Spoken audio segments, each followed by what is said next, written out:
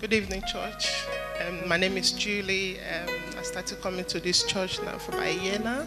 And when I first started, because I was having problem with my husband, so my friend Emily introduced me that Emily, Julie, come to this church. Bishop Climate is very good. Bishop Climate is a really good man of God. You need to come to this church. I said, no, I've never been to Deliverance Church before. So I started coming. The first day I came in, they were singing. There's something that makes me to come into your presence. So I started crying, just started singing that song. Since then, I've been coming to this church because I'm having problem with my husband. He's having an affair with a married woman. So so, you know, I keep putting the lady's name on the fire every month. I keep putting the lady's name on the fire. That confusion should be between him and my husband. I keep doing it every time. So, October, I just realized something just happened.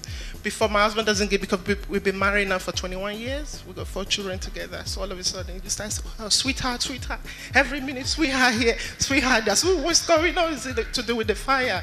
So, since then, he's so nice. My husband have changed. And I remember in January, he came here, there was a big man, tall. He came and he said he had a dream that anytime he dream, he comes to Parks. You pray for him. Because I was shocked that he came to my church. He had never come to Deliverance Church before.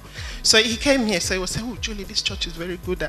Bishop Climate touched me. I'm healed now. You know, since the husband I've been going to church. Even if he doesn't come to the church, he gave his life to Christ. It was really, really bad. The lady ran away now. Lady doesn't want to have anything to do with my husband anymore. So I just... Somebody make some noise here right now. Church is real. Now, your name is no longer Julie in the house. Your name is Sweetheart, Sweetheart, Sweetheart. Yeah, because sometimes when he's saying, oh, sweetheart, sweetheart, sweetheart, say, oh, what's that? Sweetheart, so, oh, I had it done from sweetheart. He keeps saying, sweetheart, sweetheart, sweetheart. It's my husband I've changed. I just want to thank God. I just want to thank the Most High. I want to thank you. You're really a man of God. God bless you, your wife, and your children. You know. And the fire, what can you tell the fire? What can you tell about the fire? The fire service is real.